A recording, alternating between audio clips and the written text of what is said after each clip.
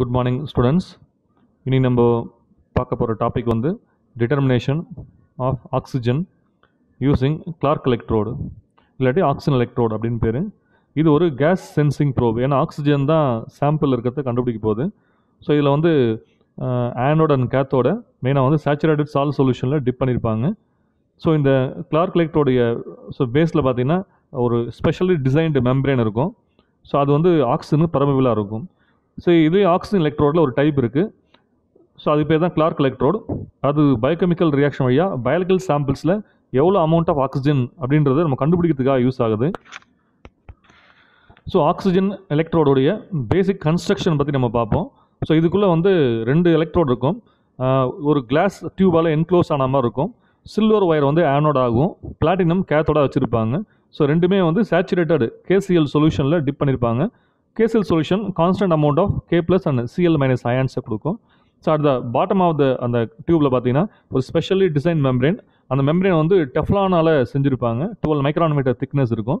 So இது வந்து oxygen permeable membrane Teflon membrane தவிர வேறு என்னென்ன மெம்ப்ரேன்லாம் யூஸ் பண்ணியிருப்பாங்க அப்படின்னு பார்த்தீங்கன்னா either cellophane or silicone rubber so இந்த பர்பஸ்க்கு வந்து யூஸ் பண்ணுறாங்க ஸோ எப்படி வந்து ஒர்க்கிங் பிரின்சிபல் அப்படின்னு பார்த்தீங்கன்னா ஸோ கிளர்க் கிளர்க் எலக்ட்ரோட வந்து ஆக்சிஜன் மாலிகுலை மெயினாக சாம்பிளில் இருந்து என்டர் பண்ணிக்கும் சப்போஸ் வந்து நீங்கள் எந்த சாம்பிளில் ஆக்சிஜன் அளவு நீங்கள் பார்க்கணும்னு நினைக்கிறீங்களோ அதை டிப் பண்ணுவீங்க.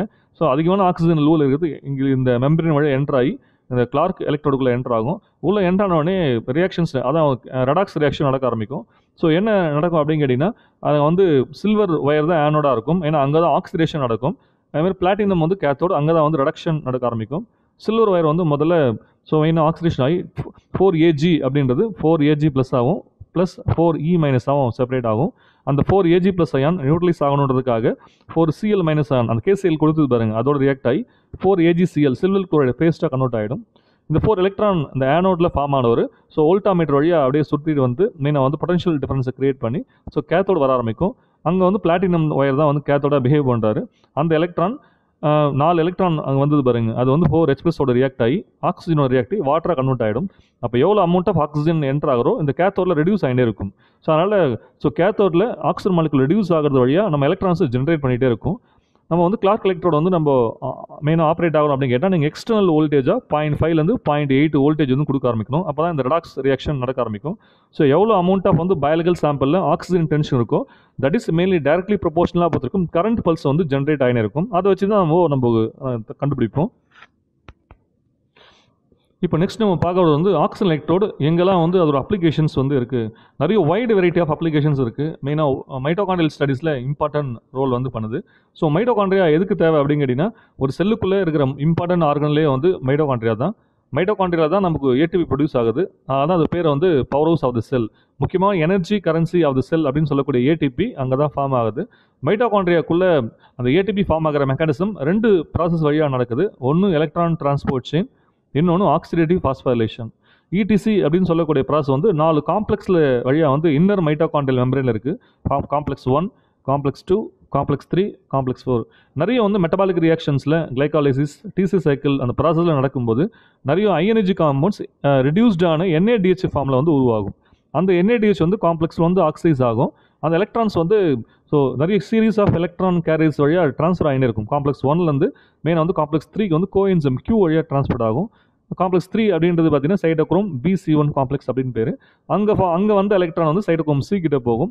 சைட்டோக்ரோம் சிலேருந்து காம்ப்ளெக்ஸ் ஃபோர் கிட்ட போகும். அதான் வந்து சைடோக்ரோம் ஆக்சிடேஸ் அது மாதிரி ட்ரான்ஸ்ஃபர் எலக்ட்ரான் கடைசியாக வாட்டர் மாலிகுலோட ரியாக்ட் ஆகி வா மீன் வந்து ஆக்சிஜன் மாலிகுலோட ரியாக்டரி வாட்டராக கன்வெர்ட் ஆகிடும் அப்போ இந்த மாதிரி எலக்ட்ரான் டிரான்ஸ்போர்ட் செயின் வயா அந்த செயின் கேரிஸ் வழியாக டிரான்ஸ்போர்ட் ஆகும்போது ஸோ ஒவ்வொரு காம்ப்ளெக்ஸ் ஆண்டியும் எக்ஸ்பிரஸ் ஆகி வந்து டிரான்ஸ்லொகேஷன் நடக்க ஆரம்பிக்கும்.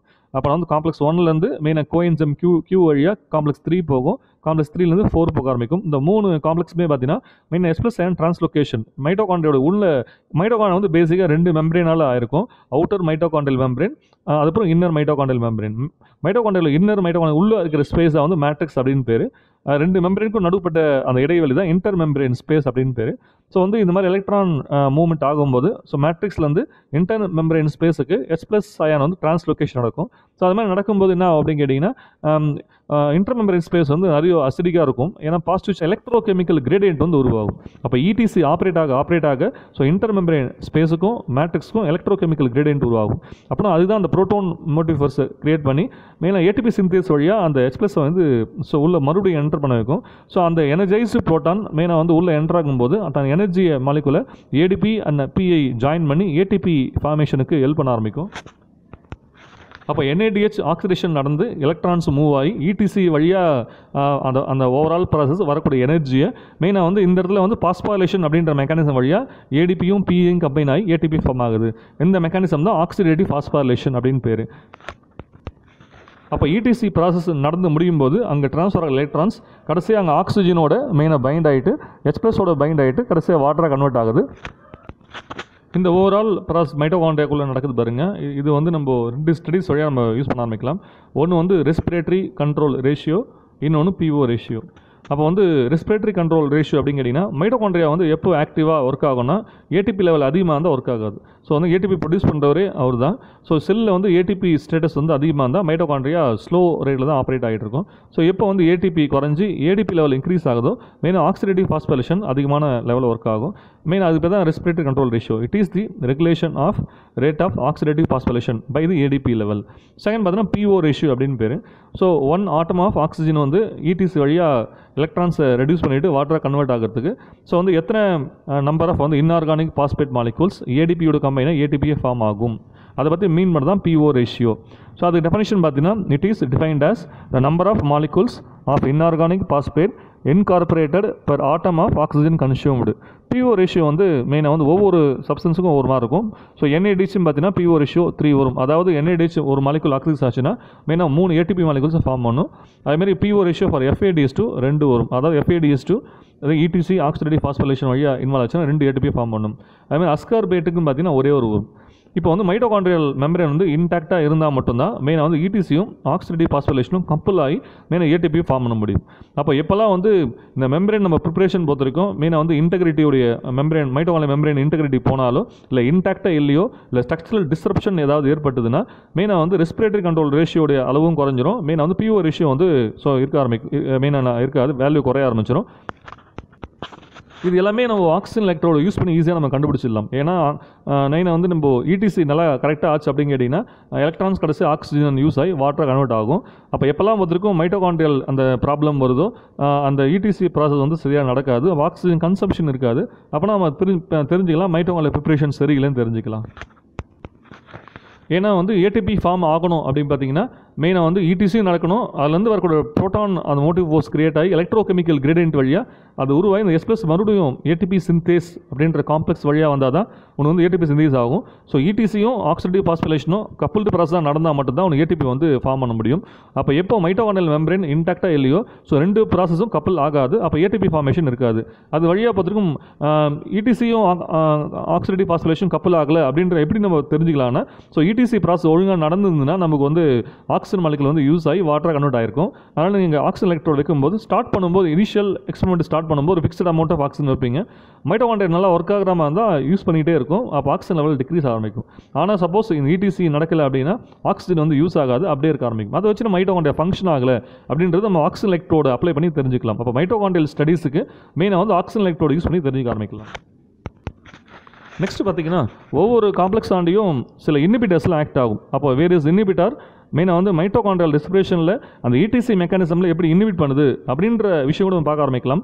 ஃபஸ்ட்டு காம்ப்ளெக்ஸில் இன்ஹிபிட் பண்ணுற காம்பவுண்ட் வந்து மெயினாக வந்து ரோட்டியோனோன் அமை அமோ பார்பிட்டால் ஸோ இந்த மாதிரி காம்பவுண்டில் வந்து இனிபிட் பண்ண ஆரம்பிக்கும். அதேமாதிரி காம்ப்ளெக்ஸ் டூ ஆண்ட் அப்படின்னு பார்த்தீங்கன்னா மெயினாக வந்து சக்சினேட் டி ஹைட்ரோஜினஸ் காம்ப்ளெக்ஸ்னு பேர். அவங்க வந்து மேலோனேட் அப்படின்ற காம்படேட்டிவ் இனிபிட்டரை இனிபிட் பண்ணும். இது தவிர கார்பாக்சின் அப்படின்ற இனிபிட்டரை இனிபிட் பண்ண ஆரம்பிக்கும். காம்ப்ளெக்ஸ் த்ரீ ஆண்ட் அப்படின்னு பார்த்தீங்கன்னா பிரிட்டிஷ் ஆன்டி லிவிசைடு அப்படின்ற காம்பவுண்டும் அப்புறம் ஆன்டி மைசின் ஏ அப்படின்ற ஒரு ஆன்டிபயோட்டிக்கும் ஸோ மெயினாக இனிபிட் பண்ண ஆரம்பிக்கும். காம்ப்ளெக்ஸ் ஃபோர் ஆண்ட் அப்படின்னு பார்த்தீங்கன்னா cyanide carbon monoxide hydrogen sulphide போன்ற காம்பவுண்ட்லாம் இன்பிட் பண்ணும். ஏன்னா இடிசி வந்து நாலு காம்ப்ளெக்ஸும் வந்து எலக்ட்ரான் ட்ரான்ஸ்ஃபர் ஆகி மொத்தமாக அங்கே வந்து ப்ரோட்டான் ட்ரான்ஸ்லொகேஷன் வழியாக எலக்ட்ரோ கெமிக்கல் கிரேடியன்ட் உருவாக்கினா தான் அவனுக்கு ஆக்சிடேட்டிவ் பாஸ்பிலேஷன் நடக்கும். இந்த நாலு காம்ப்ளெக்ஸாண்டியும் எலக்ட்ரான் ஒன்று ஒன்றா ஒன்று ஜம்ப் ஆகி ஜம்ப் ஆகி சீரியஸாக கேரியர்ஸ் வழியாக போயிட்டு இருக்கணும். அப்போ ஏதோ ஒரு காரணத்தினால ஏதோ ஒரு கெமிக்கல் இன்ஹிபிட்டர்ஸ் போட்டு நீங்கள் பிளாக் பண்ணிங்கன்னா அந்த காம்ப்ளெக்ஸாண்ட பிளாக் ஆகிடும் பின்னாடி பின்னாடி இருக்க எலக்ட்ரான்ஸ் பொறுத்திருக்குன்னு கேட்டால் அங்கேருந்து ஆப்ரேட் ஆகும். ஆனால் இந்த காம்ப்ளெக்ஸ்லேருந்து போகவே போகாது. அப்போ என்ஏடிஸ்லேருந்து மெயினாக வந்து காம்ப்ளெக்ஸ் ஒன் போகும் அப்புறம் காம்ப்ளெக்ஸ் த்ரீ போகும் அப்புறம் காம்ப்ளெக்ஸ் ஃபோர் போகும். இப்போ என்ஏடிஸ்லேருந்து எலக்ட்ரான் போகுதுன்னா நான் அமோ பார்பிட்டால் போட்டேன் அப்படின்னா காம்ப்ளெக்ஸ் ஒன் வந்து பிளாக் ஆகிடும் ஆனால் பின்னாடி காம்ப்ளெக்ஸ் த்ரீலேருந்து காம்ப்ளெக்ஸ் ஃபோர் வந்து போயிட்டு இருக்கும். ஆனால் காம்ப்ளெக்ஸ் த்ரீல வந்து நான் பிரிட்டிஷ் ஆன்டி லெவிசைட்டோ இல்லை ஆன்டி மைசின் ஏ போட்டால் காம்ப்ளெக்ஸ் த்ரீ பிளாக் ஆகிடும் அப்போ காம்ப்ளெக்ஸ் ஃபோர் மட்டும் தனியாக ஆப்ரேட் ஆகிற மாதிரி ஐ மீன் அஸ்காபேட்லாம் ஆட் ஆகும். ஆனால் காம்ப்ளெக்ஸ் ஃபோருக்கு மெயினாக தேவையான இண்டிபிட்டர் சைனைடோ கார்பன் மோனாக்சைடோ இல்லை ஐடன் சல்ஃபர்டன் ஆட் பண்ணிட்டேன்னா வேறு எந்த காம்ப்ளெக்ஸ் எலக்ட்ரான் வந்தாலும் இங்கே டெர்மினல் எலக்ட்ரான் அசப்டாரான காம்ப்ளெக்ஸ் ஃபோர் ஒர்க் ஆகவே ஆகாது. அதனால் வேரியஸ் இஸ் எந்தெந்த காம்ப்ளெக்ஸில் இன்ஹிபிட் பண்ணுது அப்படின்ற விஷயமும் தெரிஞ்சுக்கலாம். ஏன்னா எப்படி நம்ம கண்டுபிடிக்கலாம்னா. ஸோ என்ஏடிஹெச் வந்து காம்ப்ளெக்ஸ் ஒன்ல வந்து ஆக்சைஸ் ஆகும். அதுலேருந்து வர எலக்ட்ரான் ஸோ இடிசி நடக்கும்போது ஸோ என்ஏடிஎஸ்லேருந்து ஆக்சைஸ் ஆகிற electron so series of electron transferring complex வழியாக ட்ரான்ஸ்ஃபர் ஆகி கடைசி ஆக்சிஜன் ரீச் ஆகுது. நடுவில் ஏதாவது இன்ஹிபிட்டிஸ் வந்து ஆட் ஆகிடுச்சு அப்படின்னு கேட்டிங்கன்னா ஃபைனல் ஆக்சிஜன் வந்து ரீச் ஆகாது. அப்போ ஆக்சிஜன் மீன் வாட்டராக கன்வெர்ட் ஆகிற ப்ராசஸ் வந்து ஸ்டாப் ஆகும். அதை வச்சு நம்ம கண்டுபிடிச்சிக்கலாம். இடிசி ஒழுங்காக ஆப்ரேட் ஆச்சுன்னா ஆக்சிஜன் மாலிக்கல் கன்சம்ஷன் ஆகி வாட்டர் கன்வெர்ட் ஆகினே இருக்கும். இடிசி நடக்கல அப்படின்னு கேட்டால் ஆக்சிஜன் யூஸ் ஆகாது. அப்போ வேரியஸ் இஸ் இன்ஹிபிட்டர்ஸ் எங்கெங்கே அஃபெக்ட் பண்ணுது அப்படின்ற விஷயத்தையும் பொறுத்த வரைக்கும் நம்ம வந்து இல்லை ஆக்சிஜன் எலக்ட்ரோடிஸ் பண்ணி கண்டுபிடிக்க முடியும்? செகண்ட் என்சைம் அசே என்சைம் அசை அப்படின்னா கேட்டிங்கன்னா இப்போ சாதா ஒரு காம்பவுண்டாக இருந்தால் ஒரு குளுக்கோஸோ ஒரு யூரியான்னு கேட்டால் எவ்வளோ மில்லிகிராம் இருக்குது எவ்வளோ கிராம் இருக்குது அப்படின்னு மெஷர் பண்ணலாம். ஸோ என்சைம்ஸ் வந்து நம்ம எவ்வளோ இருக்குது அப்படின்றத நம்ம அப்படியே மெஷர் பண்ண முடியாது. ஸோ என்சைம் இருக்குன்ற எப்படி தெரிஞ்சுக்கலாம் கேட்டால் பேஸ்ட் ஆன் கட்டாலைட்டிக் ஆக்டிவிட்டி அது ரியாக்ஷன் பண்ணுது பாருங்கள் அதை வச்சு நம்ம கண்டுபிடிக்க முடியும். ஸோ ரியாக்ஷன் நடக்கும்போது மெயினாக ரியாக்ஷன் நடக்குதுன்னா என்ன அர்த்தம் கேட்டால் அதுக்கு எந்த பொருள் அது மேலே ஆக்ட் ஆகுதோ அது பேர் சப்ஸ்டேட்டும் பேர். ரியாக்ஷன் முடிஞ்சோடனே அதுலேருந்து ப்ராடக்ட் ஃபார்ம் ஆகும். ஸோ என்சைம் ஆக்டிவாக இருக்குது அப்படின்னு கேட்டால் ஸோ என்சைம் ஒர்க் ஆக ஒர்க் ஆக சப்ஸ்டேட்டோட லெவல் வந்து டிக்ரீஸ் ஆகினு இருக்கும் இல்லை ப்ரொடக்டோட லெவல் வந்து இன்க்ரீஸ் ஆகிட்டு இருக்கும் அப்போனா எய்தர் வந்து சப்ஸ்டேட்டோடைய கன்சம்ஷன் வந்து மெஷர் பண்ணாலோ இல்லை எவ்வளோ ப்ராடக்ட் ஃபார்ம் ஆகுது அப்படின்ற மெஷர் பண்ணாவோ என்சைம் ஆக்டிவிட்டி ஸ்டடி பண்ண முடியும். ஸோ இங்கே அதே மாதிரி தான் நம்ம ஆக்சிஜன் எலக்ட்ரோட அப்ளை பண்ணுற மாதிரி சில என்சைம் அசை நம்ம பார்க்க முடியும். அப்போனா என்சைம் அசை அப்படின்றது so amount of enzyme present இந்த பயாலஜிக்கல் சாம்பிள் அது எப்படி கண்டுபிடிக்கணும்னா பேஸ்ட் ஆன் கட்டாலிட்டிக் ஆக்டிவிட்டி அதுதான் கண்டுபிடிக்க முடியும். அதனால் ஆக்சிஜன் இன்வால்வ் ஆகிற நம்ம என்சைம்ஸ் மட்டும் தான் ஆக்சிஜன் எலக்ட்ரோட அப்ளை பண்ணி கண்டுபிடிக்க முடியும். ஸோ ஃபஸ்ட் ரியாக்ஷன் பார்த்தா குளுக்கோஸ் ஆக்சிடேஸ் குளுக்கோஸ் ஆக்சிஜனோட கம்பைன் ஆகி குளுக்கோஸ் ஆக்சிடேஸ் என்ற என்சைம் ரியாக்ட் ஆகி குளுக்கோனோ லாக்டோன் ப்ளஸ் ஹைட்ரஜன் பெராக்சைடாக ஃபார்ம் ஆகுது. ஸோ இன்னொரு என்சைம் பார்த்தீங்கன்னா டி அமினோ ஆசிட் ஆக்சிடேஸ் மெயினாக வந்து amino acid oxygen plus water combine ஆகி ப்ரொடக்ட்ஸாக பொறுத்த வரைக்கும் ஆல்ஃபா கிட்டோ குளுட்ரேட்டும் ப்ளஸ் அமோனியாவும் ப்ளஸ் வாட்டராக கன்வெர்ட் ஆகிறாரு. இந்த ரெண்டு ரியாக்ஷன் வந்து ஆக்சிஜன் மெயினாக வந்து யூஸ் ஆகுது. அப்போ என்சம் ஆக்டிவாக இருக்குது அப்படின்னு கேட்டிங்கன்னா நிறைய ரியாக்ஷன் வந்துனே இருக்கும். ஆக்சிஜன் யூஸ் ஆகினே இருக்கும். அப்போனா என்சம் ஆக்டிவாக இருக்குது எப்படி நம்ம கண்டுபிடிக்கிறோம்னா எல்லா மெயினாக என்சைம் ப்ளஸ் வந்து எல்லா சப்ஸ்டேட்டும் எடுத்துகிட்டு ஆக்சிஜன் எலக்ட்ரோட டிப் பண்ணி வச்சிடணும். ஃபிக்ஸ்ட் அமௌண்ட் ஆஃப் ஆக்சிஜன் நீங்கள் ஆட் பண்ணியிருக்கீங்க அப்போ ரியாக்ஷன் நடக்க நடக்க ஆக்சிஜன் யூஸ் ஆகினே இருக்கும். மெயினாக வந்து ப்ரொடக்ட்ஸ் ஆகும்போது மெயினாக ஆக்சிஜன் லெவல் டிக்ரீஸ் ஆரம்பிக்கும். அப்போ எவ்வளோ amount of decrease oxygen level இந்த சாம்பிள் இருக்கோ அந்த ரியாக்ஷன் மிக்சரில் இருக்கோ மெயினாக வந்து it indicates enzyme activity so வேறு ரியாக்ஷன் அப்படின்னு பார்த்தீங்கன்னா ஸோ கெட்டலைஸ் அப்படி என்சைம் ஆக்டிவிட்டி நம்ம ஸ்டடி பண்ணலாம். கெட்டலைஸ் உடைய மெயின் சப்ஸ்டேட் வந்து எஸ் டூ ஓட்டு தான் ஹைட்ரஜன் பெராக்சைடு தான். அப்போ ரெண்டு ஹைட்ரஜன் பெராக்சைடு ஆக்ட் ஆகி மெயினாக வாட்டர் அண்ட் ஆக்சிஜனாக ப்ரொடியூஸ் பண்ணும். ஆனால் கெட்டலைஸ் இந்த நம்ம முன்னாடி பார்த்த ரெண்டு ரியாக்ஷனில் ஆக்சிஜன் யூஸ் ஆகிற மாதிரி பார்த்தோம். ஆனால் இந்த ரியாக்ஷனில் பார்த்தீங்கன்னா ஆக்சிஜன் வந்து ஃபார்ம் ஆகும். அப்போனா நம்ம எந்தெந்த ரியாக்ஷன்லாம் ஆக்சிஜன் யூஸ் ஆகுதோ இல்லை எந்தெந்த ரியாக்ஷன் வழியாக ஆக்சிஜன் வந்து ப்ரொடியூஸ் ஆகுதோ அந்த மாதிரியான ஆக்சிஜன் இன்வால்விங் ஆக்சிஜன் ஃபார்மிங் மெயினாக இன்வால்வ் என்சைம் ஸ்டடீஸ்லாம் பார்த்துருக்கோம் நம்ம வந்து நம்ம கண்டு கண்டுபிடி முடியும். நெக்ஸ்ட் பார்த்தீங்கன்னா குளோரோபிளாஸ்ட் ஸ்டடிஸ் ஸோ மைட்டோகாண்ட்ரியும் குளோரோபிளாஸ்ட்டும் ஆப்போசிட் தான். மைட்டோகாண்ட்ரியா ஏடிவி ஃபார்மேஷனுக்காக மெயினாக வந்து ஆக்சிஜன் வந்து யூஸ் பண்ண ஆரம்பிக்கும். குளோரோபிளாஸ்ட் அப்படி கிடையாது. மெயினாக வந்து ஃபோட்டோசிந்திஸ் ரியாக்ஷன் வழியாக மெயினாக வந்து ஆக்சிஜனை ப்ரொடியூஸ் பண்ண ஆரம்பிக்கும்.